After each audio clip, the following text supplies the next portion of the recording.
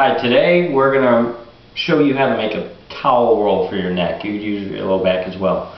But quickly we're going to lay the towel out. We're going to actually fold it into the middle so it makes a crease in the middle. And the reason for that is that your neck will sit a little better there and it won't be unlevel. You'll be even.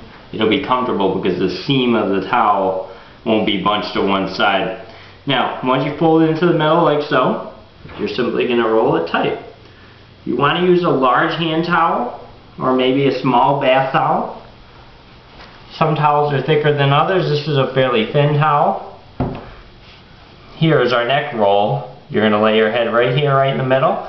If you want to actually get it to stay in place, you don't need to. You could actually use uh, rubber bands to hold it right in place, just like so. And there we have our neck roll, which you could also put behind your low back as well. Okay?